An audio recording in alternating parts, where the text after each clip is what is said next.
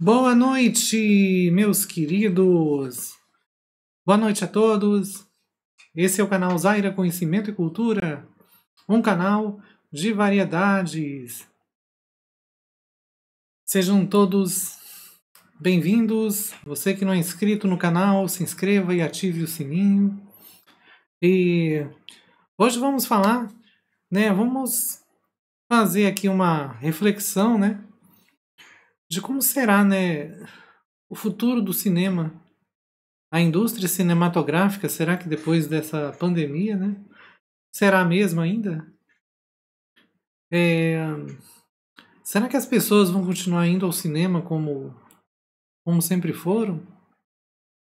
Ou vão desacostumar de ir aos cinemas e e as salas de cinema, né? Pelo mundo inteiro, né? As salas de cinema que hoje não, não tem mais, né? Aqueles cinemas de rua, né?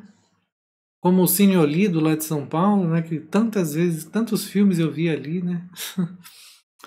e não tem mais, né? Cinemas de rua, agora só em shoppings. E essas salas de cinema resistirão a esse período, né? De, de quase ninguém estar indo aos cinemas devido a ser um lugar muito propício de se pegar né, Covid. É, é, é um lugar fechado, né? Então, é, as produtoras, o que vai ser das produtoras, né?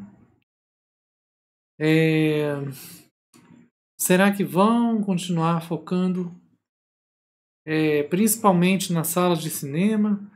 Ou vão partir para outros meios, né? Focar mais, por exemplo, no streaming. Né? Talvez as pessoas agora prefiram ver os filmes no conforto de suas casas, através de serviços digitais. Vamos ver como vai ser essa mudança, né? Como que a indústria cinematográfica vai reagir a tudo isso? Eu sei que hoje e o cinema é, é um, uma situação assim totalmente. É, diria que hoje não é adequado a gente ir ao cinema. Nós estamos né, numa crise de saúde e, e o cinema é um lugar muito propício ao contágio. Né? Então, as pessoas estão preferindo ver filmes pelos serviços digitais, né? Nas suas casas. E baseado nisso, nós vemos aí que a, a, a produtora Warner, né? A Warner já declarou que vai lançar os filmes de 2021 juntamente com o serviço digital, o serviço digital da HBO Max. Ao mesmo tempo que o filme vai ser lançado no cinema, também vai ser lançado na plataforma digital HBO Max. E, e as outras produtoras não reagiram bem, né? Caíram em cima da Warner por causa disso. Mas, é, passada essa, essa revolta toda, Será que a Warner vai voltar atrás? Ou será que as outras é, vão fazer igual ela? Eu digo o seguinte: se essa situação se estender por muito mais tempo, por muitos meses ainda, não sei, eu acho mais provável que outras produtoras imitem a Warner e lancem também os seus filmes ao mesmo tempo no cinema, nas telonas, né? E nos serviços digitais. Na HBO Max, por exemplo. Né? É um serviço que ainda não tem no Brasil, né? Nós ainda não temos a HBO Max. Aqui a gente tem Netflix, tem, tem Amazon Prime, tem agora a Pluto TV, né? Mas a HBO Max ainda não chegou aqui. Acredito que logo vai chegar, né? talvez esse ano ainda. Então, é, os serviços digitais eles pagam as produtoras. E além de receber os serviços digitais, tem também a, a o, o, o, telespectador que, que vai assistir o filme, ele tem que pagar um, um valor, né? Um valor pequeno, mas é, tem que pagar um valor para assistir aquele filme, como se fosse uma entrada de cinema, né? Porque os filmes, quando eles chegam nas plataformas digitais, eles não são gratuitos. A, a, a pessoa assina o serviço né, digital, mas filmes, lançamentos, tem que pagar separado. Então, as, as produtoras também ganham com serviços digitais. Então não sei por que a saída das outras produtoras com a Warner por causa disso. Sendo que em um momento em que os cinemas estão vazios, eu não sei até quando vai essa situação. E depois de tudo isso, vamos ver como vai, como vai ficar a indústria cinematográfica, né? Porque depois de situações como essa, muita coisa acaba mudando, né? Tem situações que mudam e a indústria do cinema pode ter que enfrentar um, uma mudança aí de paradigmas. Então, é, diversos filmes que eram para ser lançados ano passado foram adiados para esse ano. E tá aí essa, né, essa, essa situação aí, né, essa briga. Mas eu, eu diria que o cinema é, é muito agradável, né? Eu mesmo se eu, se eu morasse numa cidade que tem cinema, eu, eu não deixaria de ir ao cinema, não. Não nesse momento agora, né? Mas quando passasse essa pandemia, lógico que eu ia ao cinema. Lógico que eu vou. E é sempre, né? É bom a gente Assim, quando vai ver o filme pela primeira vez, né? Assistir no cinema, né? Muito bom. Então. E ao cinema é um. É algo assim que eu realmente gosto muito. E o cinema 3D? Será que vai sobreviver? Parece que as pessoas não se agradaram muito do 3D, né? Tanto é que as TVs 3D já saíram de linha, não tem mais TV 3D. Parece que não caiu no agrado do público. E parece que também o cinema, uma boa parcela da população prefere o, assistir o filme convencional, né? E não o 3D. Porque, né, até tem aquela questão do, dos óculos também, né? Esses óculos são bem incômodos, né? Aqueles óculos. É... Aqueles, esses óculos 3D são, são um pouco incômodos. E se o filme for muito grande, né, chega a dar dor nos olhos. Eu realmente não curto muito esses óculos, não. Eu também prefiro assistir o filme convencional, né? no formato convencional mesmo. Então eu acho que o cinema 3D também é algo que eu não, eu não vejo que vai ter muito futuro, não, gente. Eu não vejo que vai ter muito futuro o cinema 3D, não. É... Agora estão focando em novas tecnologias, né? Novas tecnologias que que dá uma imersão, né? Como as telas, formato de, das telas, o tipo de tela, né? Que é empregado ali no cinema. Que tem determinados tipos de tela, como a OLED, por exemplo, que mesmo não sendo 3D, mas dá uma sensação de profundidade assim muito bacana. Então hoje tem tecnologia para as telas de cinema é, trazer uma imersão assim interessante, mesmo sem ser 3D, mas você tem aquela imersão, aquela profundidade, né? Então essas telas novas estão saindo agora, né? A OLED já é um, uma tecnologia que já está, né? Aí há, um, há algum tempo. Assim, novas tecnologias estão surgindo agora que dão uma sensação de profundidade muito interessante. Né? Então eu realmente eu não vejo futuro no cinema 3D também não. Do mesmo jeito que acabou as TVs, pode acabar também o cinema 3D. E agora vamos falar das estreias, né? vamos quais filmes que vão estrear esse ano. Filmes que eram para ter estreado ano passado, mas que não estrearam, devido né, à pandemia. Então vamos, vamos ver aqui alguns filmes que vai. Tem muito filme bacana que vai estrear esse ano, gente. Muito, muito bacana mesmo. Agora no começo, comecinho do ano agora vai vai estrear é, Um Lugar Silencioso 2, né? Um filme de, de suspense. É, Viúva Negra com Scarlett Johansson também vai estrear. Vai estrear no. É, vai estrear agora no, no, no, no mês de fevereiro. 007 Sem Tempo para Morrer vai estrear um ano depois de quando deveria ter estreado. Ele vai estrear dia 29 de abril e era para ter estreado em abril do ano passado. então, exatamente um ano depois, é, o filme 007 vem aí. E já está tendo prejuízo, né? Inclusive a MGM, gente. A MGM quebrou, né?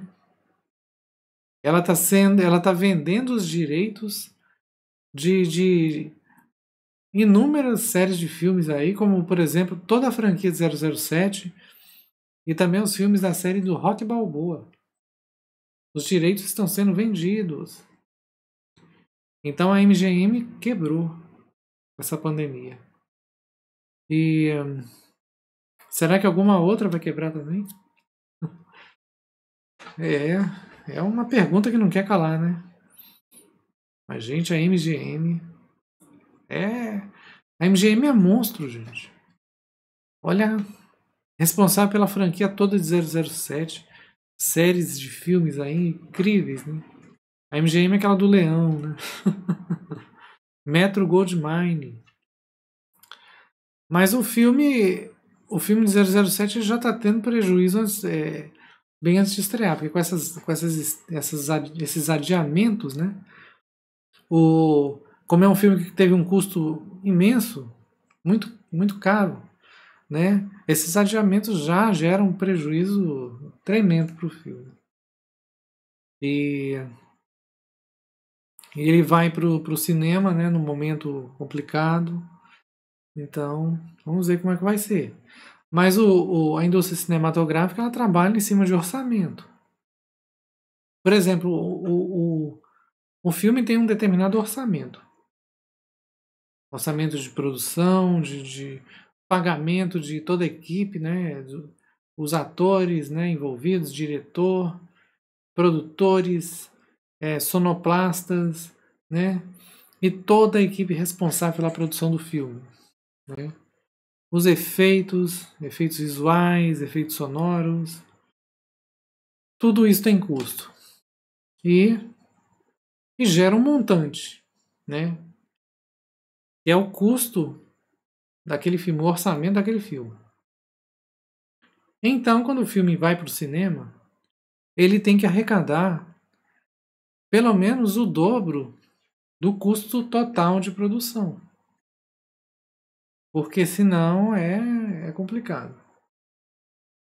Todo filme precisa arrecadar pelo menos duas vezes o custo de produção para ter sido um filme rentável.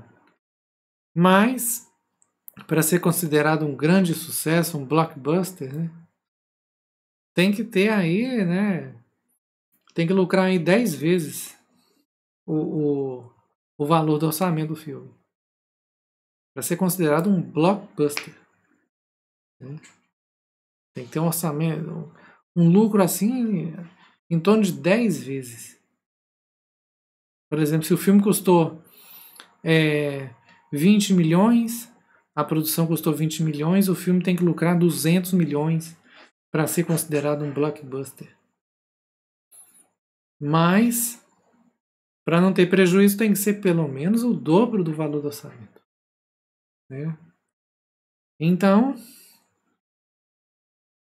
tem filmes que não conseguem nem recuperar o valor do orçamento. tem filmes que não conseguem lucrar nem sequer o valor que foi gasto para produzir aquele filme. Aí é complicado, né? E vai estrear também Os Eternos lá no fim do ano, hein? Dia 5 de novembro estreia Os Eternos da Marvel. E vai estrear também Esquadrão Suicida, galera que gosta de filmes de heróis, né? Esquadrão Suicida, é, da, também da Marvel, né? O mesmo diretor de Guardiões da Galáxia, estreia dia 6 de agosto. Outro filme que eu. Esse eu tô esperando demais, viu? Tomara que eu, eu possa ir ao cinema até lá. É o remake de Duna. Duna é um filme de ficção científica.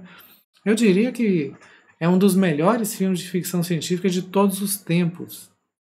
Que é o filme Duna, de 1984, de Frank Herbert, né, estrelado por é, Kylie McLaren, né, que fez o Paul Atreides. Né? Então, é um filme marav maravilhoso. E e era para ter sido ter estreado em 2020 esse filme também. E vai vai estrear agora em 2021. E a direção desse filme vai ser de Denis Villeneuve, gente. Denis Villeneuve é um excelente diretor de ficção científica. É... Ele é o diretor de a Chegada e Blade Runner 2049. Blade Runner 2049 é um filme espetacular. Para quem achava, né, que o filme não seria tão bom e seria estaria muito aquém do original, né, de 1982, só porque não era o próprio Ridley Scott que ia dirigir, né? É, se enganou, porque o filme Blade Runner 2049 é um filme espetacular. Eu amo esse filme. Em alguns momentos eu acho ele até melhor do que o primeiro. Mas esse filme vale a pena. Eu acredito que vai ser uma um remake muito, muito bacana. Vai estrear também Homem-Aranha 3. Esse filme aí promete é, corrigir os erros dos outros filmes do Homem-Aranha. Vamos ver, né? Porque os outros foram bem fraquinhos, sinceramente. É, Homem-Aranha 2, o espetacular Homem-Aranha, né, o primeiro. É... São filmes assim bem fracos mesmo. Inclusive o próprio Homem-Aranha eu acho ele muito fraquinho. Godzilla vs King Kong vai estrear também. Godzilla vs King Kong dia 21 de maio. Para quem gosta de filme de monstros, olha aí, ó. Tá em prato cheio juntaram dois dos maiores monstros do cinema no mesmo filme. Também Raya e o Último Dragão, um filme, um filme japonês, vai estrear dia 5 de março. E outro filme também, que vai estrear lá no final do ano ainda, mas que eu estou aguardando ansiosamente. Matrix 4. Matrix 4 finalmente está vindo aí. E olha, dia 22 de dezembro, quase na véspera do Natal. E olha só que vai estrear também Top Gun Maverick. É a continuação de Top Gun Ases Indomáveis. Depois de quanto tempo, né? 20. Não. 30 e. 35 anos. Vem a continuação de, de, de, de, de Top Gun. 35 anos depois. E vai ser com o próprio Tom Cruise, claro, bem mais velho, né? e tem mais Tom Cruise aí, estreando em 2021. Missão Impossível 7. Missão Impossível 7 está chegando. Dia 7 de novembro. Outro filme interessante também que está chegando aí. Space Jam, um novo legado. Quem, quem é que assistiu Space Jam lá de 1998? Que tinha o Michael Jordan, né? No elenco e o Pernalonga. ai, ai. Eu, eu me amarrava nesse filme na época, né? Eu era adolescente. Eu gostava demais.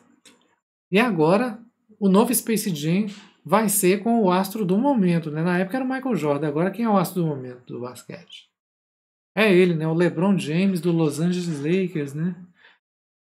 Atual campeão.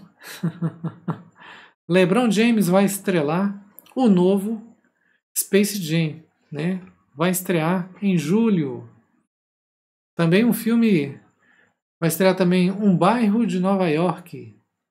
É um filme de comédia, né? Vai estrear dia 18 de, de junho.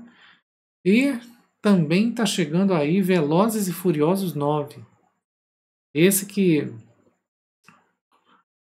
é um uma franquia, né, que tem, tem uma legião de fãs, né? E agora vai estrear o nono filme da série Velozes e Furiosos com o Van Diesel, né, gente? E é isso aí. Grandes filmes estão chegando nesse ano de 2020 e 21. 2020 não, 2021. 2020 já foi, vai com Deus. Então é isso aí, meus queridos. Espero que tenham gostado da resenha. E vamos ver o que, que vai acontecer, né? O que, que vai acontecer na indústria do cinema? Vamos aguardar a estreia desses filmes, estão, estão aguardados, e vamos ver o resultado de tudo isso. Mas o que nós queremos mesmo é o fim dessa pandemia, né, gente? O fim dessa pandemia para a gente poder voltar aí ao cinema. Se bem que eu moro numa cidade que não tem cinema, né? Mas, acabando a pandemia, eu posso viajar. E aí, viajando, eu vou ao cinema. então é isso aí, meus queridos. Não esqueça de deixar aquele joinha para elevar cada vez mais esse canal.